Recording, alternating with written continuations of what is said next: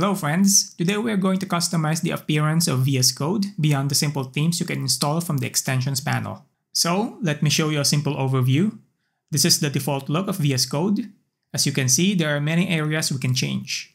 We'll customize the title bar by removing these buttons and make the overall user interface minimal. We'll also change the appearance of the command dialog as well as the fonts of the user interface elements.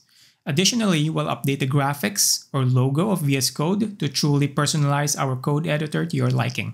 And after our customizations, this is what the final version will look like once we have made all the changes. As you can see, the sidebar is much more minimal, and the fonts of the items have been changed. The title bar is also very minimalistic, showing only the file or the project title without the buttons that I personally don't use. The appearance of our command dialog will also change, looking like this now with a blurred background. This will be the new color scheme of our layout. The tooltip design will also be updated. You'll notice the tooltip now has a rounded corners, a shadow, and a background gradient. And even the homepage art of VS Code, which typically shows the VS Code icon, will be changed to a new graphics so you can truly personalize your editor. As you can see, I have added my own graphics here to replace the VS Code icon. Okay, let's get started. For me, the default look of VS Code is too crowded. It has many user interface elements that I don't use. And most of the time, I rely on keyboard shortcuts, which I find faster compared to clicking or navigating with a mouse or trackpad. So what we're going to do here is simplify the user interface of VS Code. And the first thing we'll do is install some themes. Currently, I'm using the React theme, which of course is inspired by React. Most of you already know how to install a VS Code extension, so I won't go into too much detail about that. After the installation, this is what it looks like. The color scheme of our codebase is now inspired by React. First, let's hide the activity panel on the left side. I don't navigate here using the mouse. I use keyboard shortcuts, as I said. And also, I don't use the Git features here. I work with Git in the terminal, so it makes sense to me to just remove this from the UI. To hide the activity panel, we can go to the View menu, then select Appearance. Under the activity bar position, click Hidden. And now the activity panel is gone. Next, let's proceed. Now let's hide the status bar at the bottom. Again, go to the View menu, then to Appearance, and uncheck the status bar option or the menu item. Okay, the status bar is now gone. Next, let's hide the minimap on the right side. For me, the minimap is quite annoying and just occupies extra space in my editor, which I don't really use. So let's go to the settings panel in VS Code and search for minimap. Then just uncheck this option, close the settings tab, and you'll see that the minimap is gone. Next, let's improve the appearance of our sidebar or the file explorer. The first thing we'll do is move it to the right. If you don't prefer having the file explorer on the right, you don't need to follow this step. Otherwise, in my case, I prefer having my sidebar on the right. So go to the View menu, then Appearance, and select the option Mode Primary Sidebar to the right. Next, we will modify our settings.json file. I'll add some values here to minimize what I consider unnecessary distractions. I'll paste values I used or have set in my editor. And I won't explain each one individually, but I will link the settings I use in the video description below. The values I'm pasting here are to simplify the user interface of VS Code to my personal taste. So for example, you might see a light bulb icon next to this line of code on the far left, which I don't use much. There are also other elements like, for example, the two square outlines around our open and closing parentheses that I find unnecessary and distracting.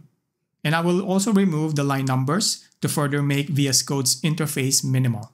You will see descriptions of what each setting does, so when you hover over each line, a tooltip appears describing what that particular setting does.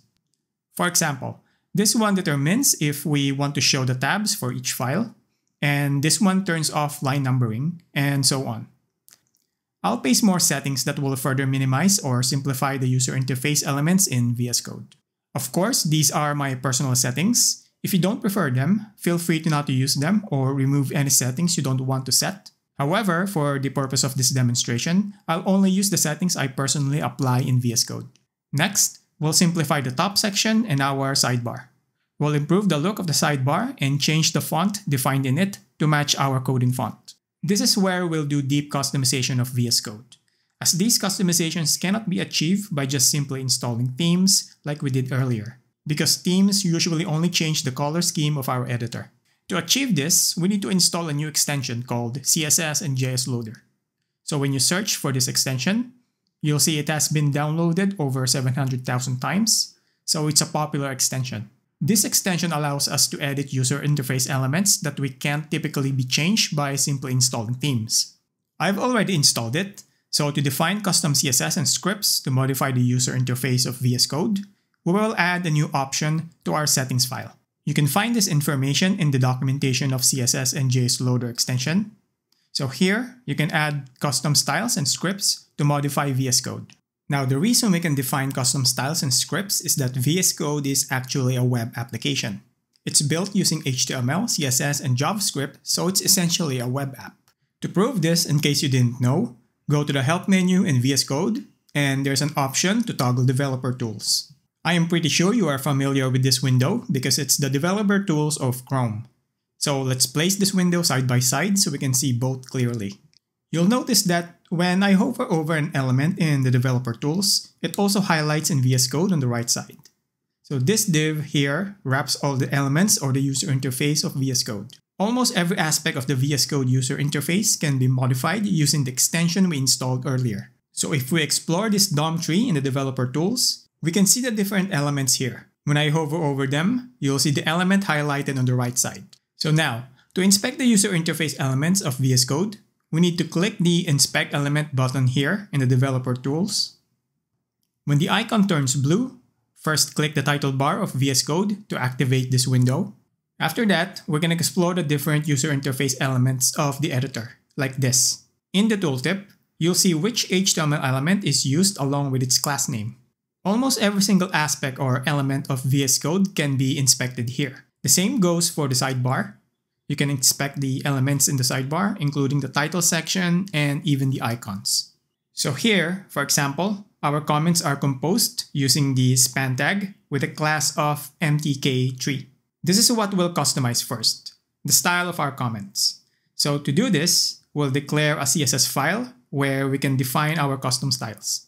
First, create a new CSS file and save it in a directory of your choice on your computer. For me, since I'm using a Mac, I'll save it in my home directory and name it customvscode.css. In this CSS file, we'll identify and define all the styles we want to change to modify various aspects of our editor. So again, let's inspect the comment element, activate the inspect element feature, then click the title bar of VS Code to activate the window. Now we can inspect the code comment. When you click it, the specific element controlling our comments will be activated in the developer tools. So here it is, the element with the class mtk3. Now, in our custom style sheet, we can style it just like any HTML element. So for example, we can set mtk3 to have a yellow color, add the important attribute to ensure it overwrites any other styles that might conflict with this. Now let's go back to our settings file.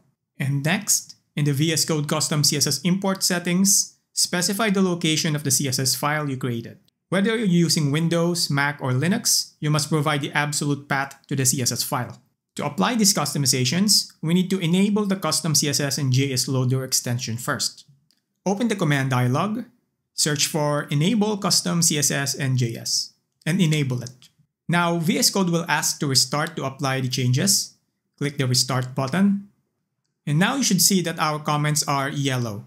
So basically, that's just how you can customize almost all areas of VS Code. But let's further make our customizations to make this look the same as you saw from the preview. In my case, I have already written the CSS to make the changes that I like. So I will simply paste the styles here one by one so you can see. As I mentioned earlier, I will link all the settings that I use if you want to check them out for reference. Now, this style right here will modify the top part of the shadow of the code view here, this part, Unfortunately, there's no hot reloading here. So we need to manually reload the custom CSS and JS extension to see the changes that we made each time. Open the command dialog and search for reload custom CSS and JS. Okay, next let's modify the styles of the sidebar. Let's begin by adding some shadows to the sidebar. If I inspect the element here, you can see that the class name of the sidebar is part and sidebar. So I created a CSS entry with those class names. Again, to preview the changes, let's reload the extension to apply the changes. Okay, as you can see the sidebar now has a subtle shadow. Now I'm going to paste a number of styles here to change the look of our sidebar. Of course, you can customize the sidebar however you want, and you already know how to inspect the different areas of the editor as I showed earlier. Okay, I'll reload the extension again. Now as you can see the sidebar has a different look. In my opinion, it's much nicer. It now has a different font and the font color is white. You can also notice that the sidebar title at the top has changed. The font is a little bit bigger and has a cool rocket icon beside it. If we check the CSS style to do this, here's the style definition below. I will also disable this sticky scroll feature here as I don't like it. So for me, it's making the interface clunkier. I'll head over to the settings page and search for sticky. Oh, okay, this is probably the settings right here. Yes, it is. Next, let's make the scroll bar thinner. I don't like the scroll bar to be this thick since I never grab it with a mouse to pan through my code up and down. I use the trackpad for that, so I don't need a scroll bar to be this thick. I could simply hide the scroll bar if I wanted to, but I prefer to make it just one pixel in width so that it's still visible and gives me a context of how long my code is. So here's the style of the scroll bar. Reload again. And now you can see that it's very thin which for me makes the UI more minimal. I will close the uh, developer tools now, and you already have an idea of how to target the elements you want to customize. Next, let's customize the tooltip's appearance. Here's the default design of the tooltip, so let's make it a little bit more interesting. Here's the style definition, reload the extension, and here's the new look of the tooltip. Next is the title bar of VS Code. Let's make it cleaner. I don't use any of the buttons here since I use keyboard shortcuts. So let's hide most of the elements except the label name of the currently open file. I'll paste the styles I defined for this, then reload. As you can see, the buttons and other elements are gone except for the label of the currently open file. Let's fix the alignment for this element by pushing it further to the left. Let's open the developer tools again. Select the label container and the class name for the element is command center center. Now let's define the style for it. Set the width to auto, then reload again. Great, it's now further to the left. Next, let's customize the command dialog. So this is how the command dialog has looked since VS Code launched a few years ago. And let's customize it a bit. First, I'll change the look of the text input. Here's the style for that. Reload again. Okay, as you can see, the text input is now bigger and the font has been changed to match the font we use throughout the editor. Next, let's move the command dialog to the center of the window instead of having it pinned at the top of the title bar. I'll paste the styles here, reload again, and now look, it's centered on the window instead of being pinned at the top. Now let's fix the background of the item list here. I'll make the background transparent reload, and now look at the brand new layout for the command dialog. For me, it looks much more interesting compared to the old look. Next, let's add a blurred background for the command dialog so that whenever we open the dialog, all the elements behind it, including the source code, are blurred. For that, we'll need to add a custom JavaScript to make it work. Back to the settings.json file, I'll define a script here. And of course, I'll need to create that script I'll paste the vanilla JavaScript I already made. Again, you can download the files from the video description if you want to try it yourself. So basically what this script does is dynamically add a new div behind the command dialog every time you open it. Apply some styles to it and make it disappear whenever you close the command dialog. Let's test this out. Reload. And as you can see, it adds a nice blurred background behind the command dialog. This kind of behavior, to my knowledge, isn't possible by just installing themes. Now, last but not the least, let's change the VS Code icon here when you don't have any open files. And yes, this can be customized too. I created an SVG artwork for this, so we need to embed or convert the SVG graphics to a valid CSS code. You can go to this website, bloggerpilot.com. They have a tool for converting SVG graphics to CSS code. Let's open the SVG art I made in the editor. Here's the SVG art. Just copy the entire SVG code and paste it into this box. It will then give you the converted version in CSS, which you can find below. So copy that. Then go back to our custom VS Code style sheet. Now, the element that holds the SVG graphics has the class name letterpress. In this class, we'll paste the CSS code from Blogger Pilot. Let's turn on word wrap so we can see the entire code. It's quite long as you can see. At the bottom, add the important attribute to ensure that we overwrite any default stylings if there are any. Then, change the background size from cover to contain. Also, set the width to 60%. Alright, so again, reload the extension and restart the editor. When we check the home page of VS Code again, okay, it's a bit small, so let's fix that. Go back to the CSS file and make adjustments at the top.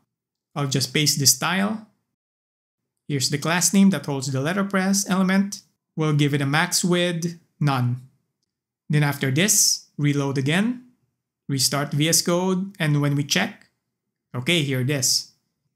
As you can see, our graphics now occupy 60% of the width and are centered on the VS Code homepage. Okay, so that is how we can deeply customize the user interface of VS Code beyond just installing themes. There are many other things you can do. You can also add your own scripts, define custom behaviors, and customize almost all areas of VS Code using the CSS and JS Loader extension to totally customize VS Code to your liking. Okay, that's it. I hope you enjoyed my VS Code customization video. Again, I'll link my settings in the video description below, and you can use them as starting files and modify them as you like. Thank you for watching guys, see you next time.